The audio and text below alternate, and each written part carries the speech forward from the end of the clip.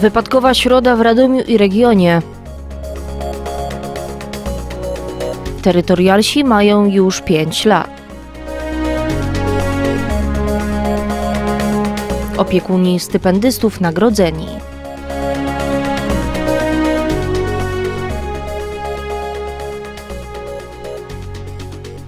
Katarzyna Kurek, witam w środę 28 września. Zapraszam na informacje. Do dwóch wypadków drogowych doszło w środowy poranek. W wyniku zdarzeń 48-letnia kobieta i 24-latek trafili do szpitali. To nie była spokojna środa na drogach Radomia i regionu. Do wypadku doszło po godzinie 8 na Krajowej Dziewiątce w Modrzejowicach za Skaryszewem. Droga w tym miejscu była zablokowana przez kilka godzin. Ze wstępnych ustaleń policjantów wynika, że 28-letni kierujący pojazdem marki Volvo, po, będąc pod wpływem alkoholu, badanie wykazało ponad promil w organizmie, stracił panowanie nad pojazdem, zjechał na przeciwległy pas ruchu, doprowadzając do zdarzenia czołowego z pojazdem marki Mercedes, kierowanym przez 39-latka.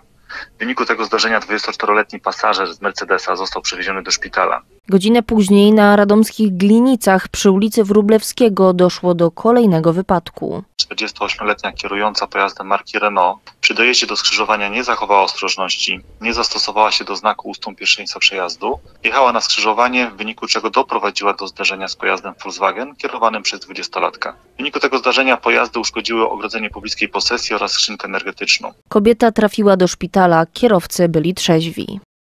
Wojska Obrony Terytorialnej świętują pięciolecie istnienia. W Radomiu nagrodzono zasłużonych, a także oddano hołd poległym żołnierzom Armii Krajowej.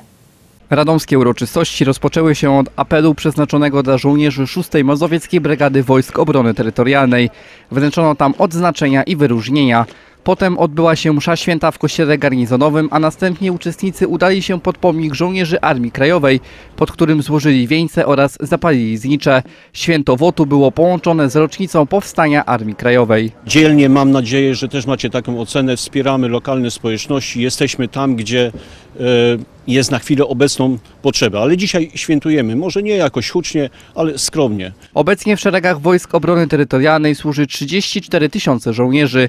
W trakcie pięciu lat żołnierze pomagali m.in. w okresie pandemii, służyli na granicy polsko-białoruskiej, czy pomagali uchodźcom z Ukrainy po wybuchu wojny. Chcę, żeby brygada się, się rozwijała, żeby te 2000 wspomniane, e, żebyśmy rośli w siłę. Moim marzeniem jest e, mieć w swoim szeregu 65. batalion e, rozmieszczony w Płocku.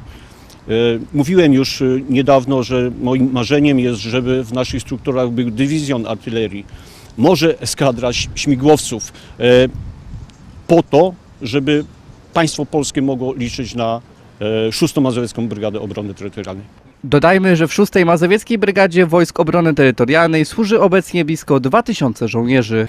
Potrafią rozbudzić wyobraźnię i wskazać kierunki rozwoju, pomagają uczniom odkrywać talenty i odnosić sukcesy.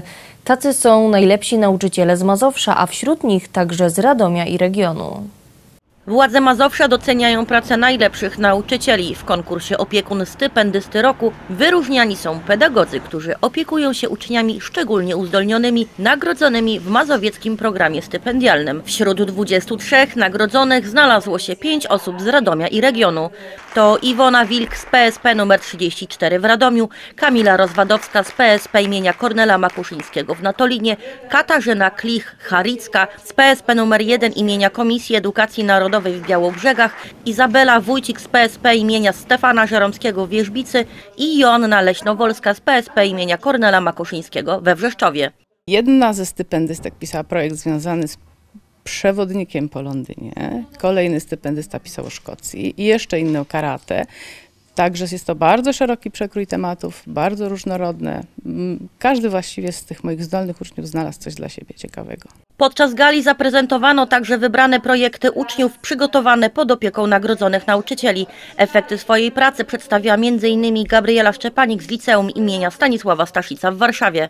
Sprawdzałam, czy antybiotyki na pewno działają i można zobaczyć, że rzeczywiście, jeśli na przykład zmieszamy antybiotyki i możemy myśleć o antybiotykooporności teraz na skali światowej, jeśli mówimy o zdrowiu i możemy to zrobić w naszym własnym, czy domowym, czy profesjonalnym laboratorium i to jest niesamowite. Udział w projekcie stypendialnym nie tylko poszerza horyzonty, rozwija umiejętności, ale pozwala też odnaleźć kierunek co do przyszłości zawodowej. Ta nagroda jest konkretna, finansowa, to jest 4000 zł.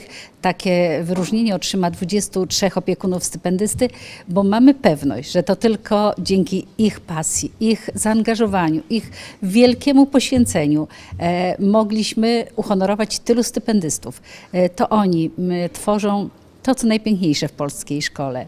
Budują młodego człowieka. W ramach ostatniej edycji programu stypendialnego wsparcie finansowe otrzymało 632 uczniów z całego województwa.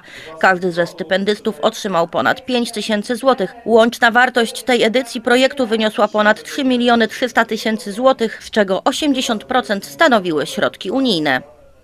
W niedzielę na osiedlu 15-lecia odbyło się oficjalne odsłonięcie muralu przedstawiającego Jerzyka.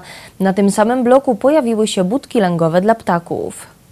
Domek dla Jerzyka, mural dla oka. Taki tytuł nosił projekt zrealizowany na osiedlu 15-lecia w ramach budżetu obywatelskiego.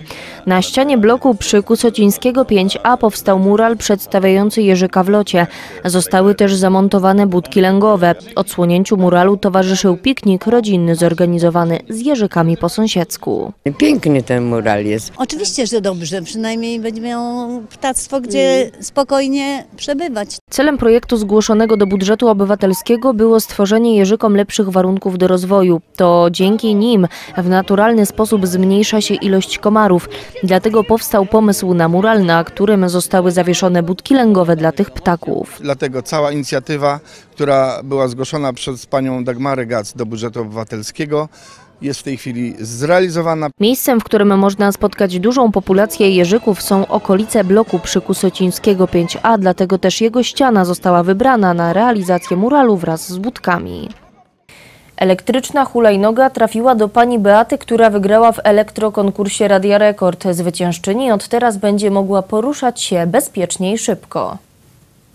Elektrokonkurs Radia Rekord trwał od 23 sierpnia do 18 września. Aby wziąć udział wystarczyło wysłać zgłoszenie za pośrednictwem wiadomości SMS. Pani Beata nie kryła radości ze zwycięstwa. Jak sama przyznała, o konkursie dowiedziała się przeglądając media społecznościowe. Zaintrygowała ją nagroda, która pomogłaby jej w szybszym dotarciu do pracy i między innymi dlatego postanowiła wziąć udział w konkursie. Konkurs y, tradycyjnie, jak to robimy, dosyć prosty.